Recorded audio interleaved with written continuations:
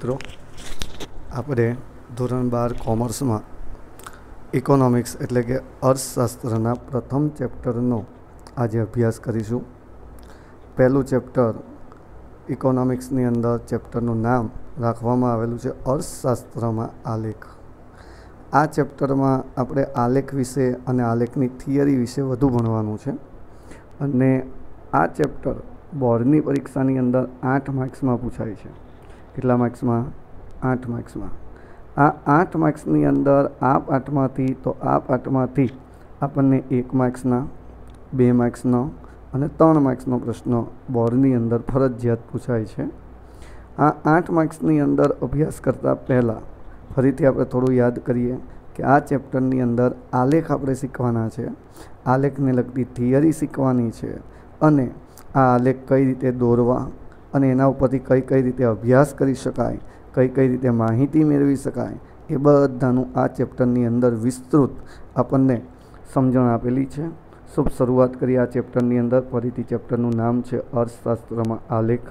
આ ચેપ્ટરની અંદર શુભ શરૂઆત કરીએ તો એમાં પહેલું જ આવે છે. આ ચેપ્ટરનો પહેલો પ્રશ્ન પ્રશ્ન છે, આકૃતિ એટલે શું? તે શા માટે દોરવામાં આવે છે? હકીકતમાં આકૃતિ અને આલેખ બંને શબ્દ અલગ અલગ છે. કેમ? કારણ કે બંને શબ્દ અલગ અલગ રીતે દોરવાના છે, અલગ અલગ રીતે સમજાવવાના છે અને અલગ અલગ રીતે એની સમજૂતી પણ રજૂ કરવાની છે. પહેલા પ્રશ્નની વાત કરીએ, આકૃતિ એટલે શું? તે શા માટે દોરવામાં આવે છે? આ પ્રશ્ન આપણને બોર્ડની પરીક્ષાની અંદર વ્યાખ્યા સ્વરૂપે પૂછે તો એક માર્ક્સમાં પૂછી શકે અને નહીં તો પછી બે માર્ક્સમાં આપણને પ્રશ્ન પૂછી શકે કે આકૃતિ એટલે શું? તે શા માટે દોરવામાં આવે છે? આપણે શરૂઆત કરીએ. તો આના જવાબની અંદર તો પહેલી જ આપણને વ્યાખ્યા આપેલી છે કે આકૃતિ એટલે શું? તો અવલોકિત માહિતીનું ચિત્ર દ્વારા પ્રતિનિધિત્વ એટલે આકૃતિ. હવે અવલોકિત માહિતી. અવલોકિત એટલે આપણે માહિતી પહેલાં ભેગી કરવાની અને ભેગી કરીને અવલોકન વાઇઝ એને અલગ અલગ પાડવાની. જેમ કે એક્ઝામ્પલ તરીકે કે આપણે ગરીબીની માહિતી મેળવવી છે, તો ગરીબીના બધા આંકડા મેળવવાના. હવે એ આંકડા મેળવ્યા પછી યર વાઇઝ એટલે કે વર્ષ વાઇઝ એને અલગ અલગ કરવાના. વર્ષ વાઇઝ અલગ અલગ થઈ ગયા પછી એને રાજ્ય વાઇઝ અલગ અલગ કરવાના. આ રીતે તમે જે માહિતી અલગ અલગ કરતા જાઓ છો, એ માહિતીને કહેવાય છે અવલોકિત માહિતી. અને પછી એ જે પણ માહિતી આપણને મળી છે, એને આપણે ચિત્ર દ્વારા એને રજૂઆત કરીએ, પ્રતિનિધિત્વ કરીએ. અને એ જે બને છે, એને કહેવામાં આવે છે આકૃતિ.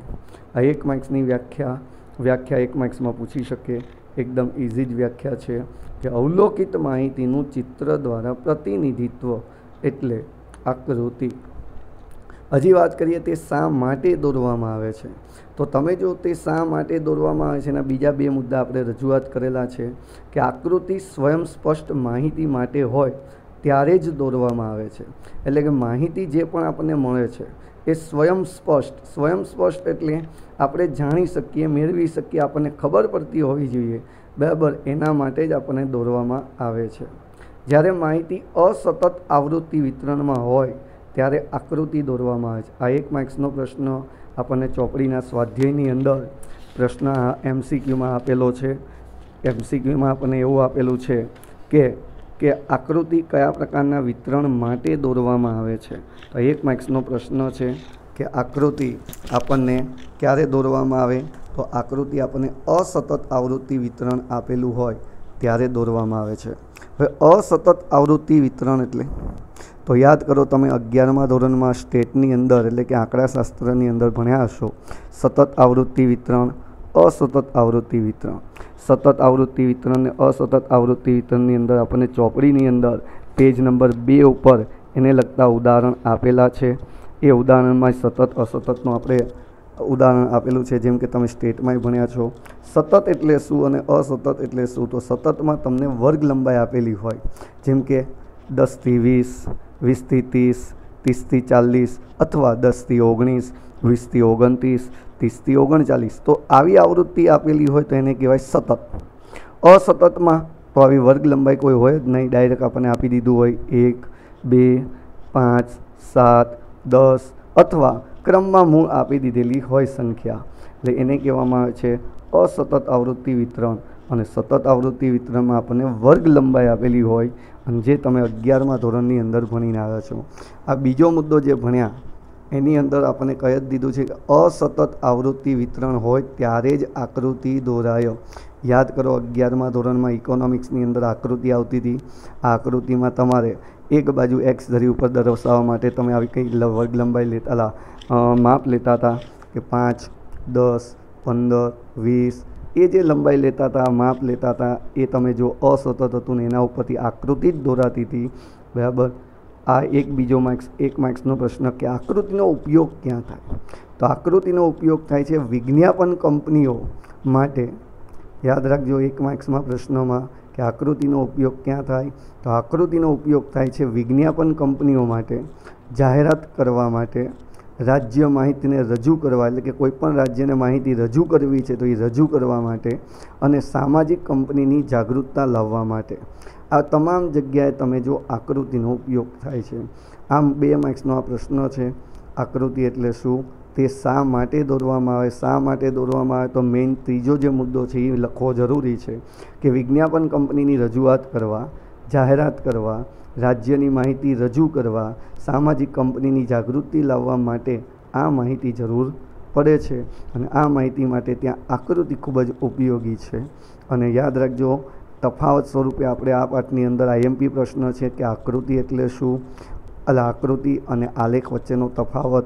તો આકૃતિ અને આલેખ વચ્ચેના તફાવતની અંદર આ તમને જો જવાબ આવડતો હોય, તો આની અંદરથી જ તમને ચાર પાંચ મુદ્દા આવડી જશે, જેમ કે પહેલી જ વ્યાખ્યા. બીજું કે આકૃતિ દોરવા માટે માહિતી સ્વયં સ્પષ્ટ હોવી જોઈએ. પછી અસતત આવૃત્તિ વિતરણ માટે જ આકૃતિ દોરાય અને એનો ઉપયોગ. ટોટલ ચાર મુદ્દા તો આપણે આના ઉપરથી જ તફાવતના બની જાય છે. ચલો ફરીથી એક મિનિટ આ પ્રશ્નને વાંચી લઈશું. વિદ્યાર્થી મિત્રો, આ પ્રશ્નને શાંતિથી એક મિનિટ વાંચી નાખો.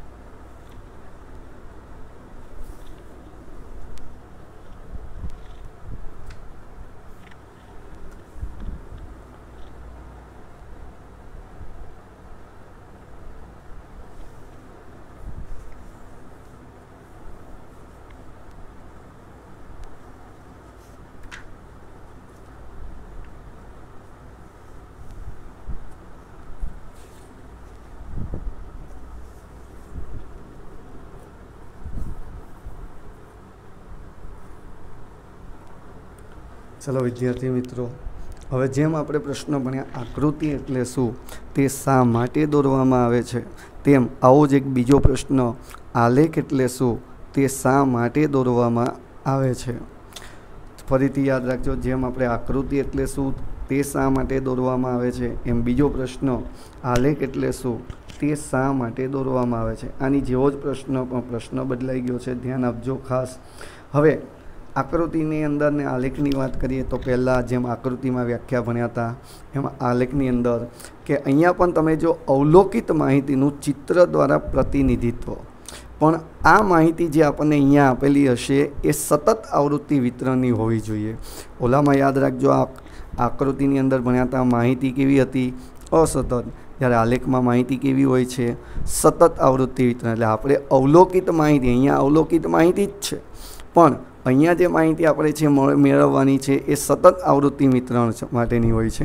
અને આ સતત આવૃત્તિ વિતરણની જે માહિતી છે, એ માહિતીનું આપણે જે ચિત્ર દ્વારા પ્રતિનિધિત્વ કરીએ, તો એને શું કહેવાય?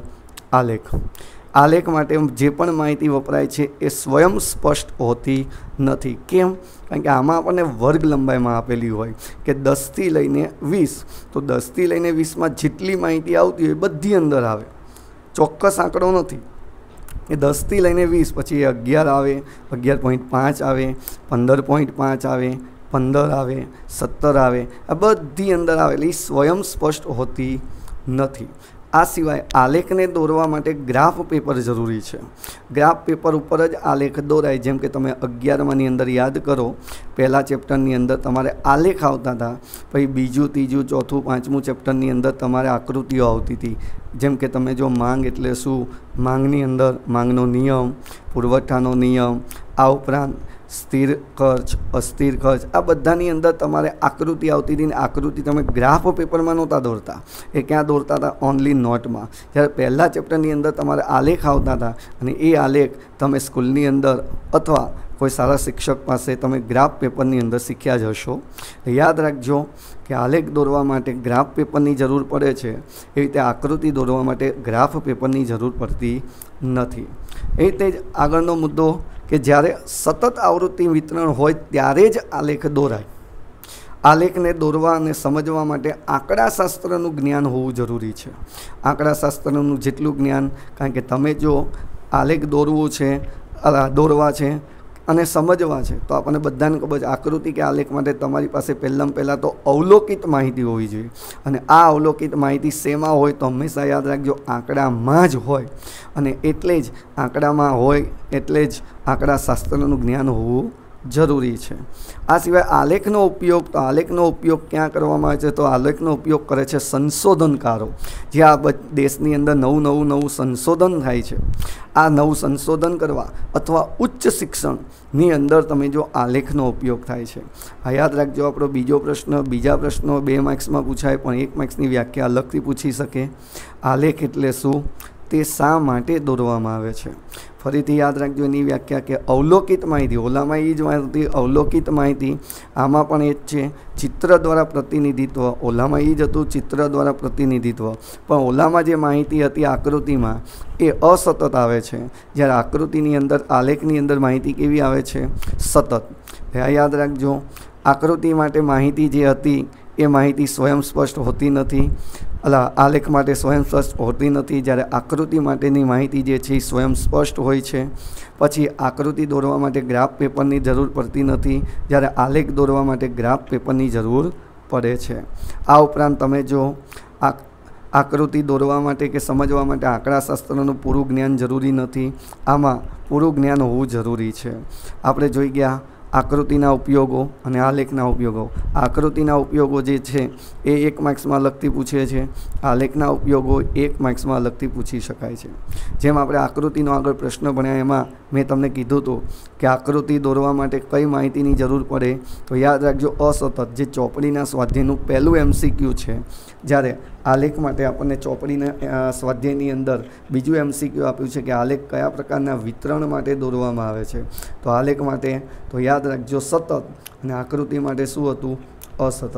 આમ આની અંદર તફાવત પણ પૂછાય મેં તમને કીધું હતું. અને ચોપડીના સ્વાધ્યાયની અંદર ચોથા પ્રશ્નનો ત્રીજો પ્રશ્ન. પ્રશ્ન ચાર, એની અંદર ત્રીજો પ્રશ્ન તફાવત આપ્યો જ છે. આકૃતિ અને આલેખ. જો આ બંને પ્રશ્ન તમને આવડી જાય, તો આ ત્રીજો પ્રશ્ન આકૃતિ અને આલેખનો તફાવત પણ આવડી જાય. જેમ કે પહેલો મુદ્દો બંનેની વ્યાખ્યા. બીજો મુદ્દો, તો બીજો મુદ્દો, તો બીજો મુદ્દો મેં કીધું એમ, આકૃતિ દોરવા માટેની માહિતી કેવી હોય છે? તો અસતત, જ્યારે આલેખ દોરવા માટે કેવી હોય છે? સતત, આ સિવાય આકૃતિ દોરવા માટે જે માહિતી હોય છે એ સ્વયં સ્પષ્ટ હોય છે. આમાં હોતી નથી આલેખમાં. પછી આકૃતિ દોરવા માટે ગ્રાફ પેપરની કોઈ જરૂર નથી. જ્યારે આલેખ દોરવા માટે ગ્રાફ પેપરની જરૂર પડે જ છે. આ સિવાય આકૃતિ દોરવા માટે આંકડાશાસ્ત્રનું પૂરું જ્ઞાન હોવું જરૂરી નથી. જ્યારે આલેખને દોરવા અને સમજવા માટે આંકડાશાસ્ત્રનું પૂરું જ્ઞાન હોવું જરૂરી છે. આ સિવાય બંનેના ઉપયોગો અને એક હજી મુદ્દો લખવો હોય તો લખી શકાય બંનેનું ઉદાહરણ. મેં હમણાં જ કીધું ચોપડીની અંદર પેજ નંબર બેમાં એના બંનેના ઉદાહરણ. ઉદાહરણ એટલે કોષ્ટક. જેમ કે અસતત માટે આપણે કીધું તો શું લખી શકાય? તો એમાં લખી શકાય એક, બે, પાંચ, સાત, દસ. એ માહિતી કેવી કહેવાય? અસતત.